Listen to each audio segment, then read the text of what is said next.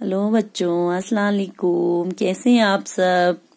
Class third, कल हमने महीनों का गीत, चैप्टर नंबर एट, इसका चैप्टर का नाम है महीनों का गीत। हमने कल इस महीनों का गीत जो है वो पढ़ा था तो आज मैंने उसके क्वेश्चन आंसर यहाँ पे लिखे हैं। आपको मैंने कल शब्दार्थ लिखने के लिए कहा था। आई होप आपने वो सब लिखे होंगे। अगर नहीं लिखे हैं तो पहले आपको शब्दार्थ लिखने अपनी कॉपी पे, उसके बाद क्वेश्चन आंसर लिखने हैं।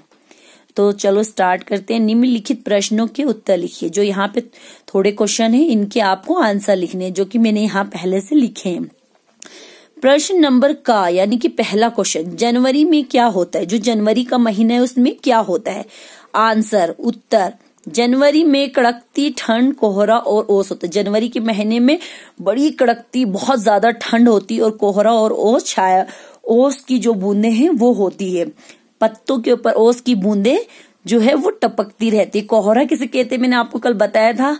कोहरा जो सुबह सुबह वो धुंध जैसी छाती है, उसे कोहरा कहते हैं। सेकंड ख. अप्रैल का महीना क्या लिखा था? अप्रैल का महीना, आप देखो अप्रैल का महीना क्या लाता है? आंसर अप्रैल का महीना तपती गर्मी लेकर आता है। अप्रैल का महीना जो है वो बड़ी तपती हुई गर्मी लेकर आता है। ग. मई महीने की क्या विशेषता है? मई महीने की क्या विशेषता? मानी क्या खासियत है उसकी? मई के महीने की क्या खास बात है? उत्तर. मई के महीने में गर्मी, धूल, पसीना खूब आता है। मई का जो महीना होता है, उसमें बहुत सड़ी हुई गर्मी होती है, धूल चारों तरफ़ और पसीना खूब आता है। समझ में आए बच्चों? प्रश्न नंबर घ, मोर मस्त होकर कब नाचता है? जो मोर पिकोक होता है, वो मस्त होकर कब नाचता है?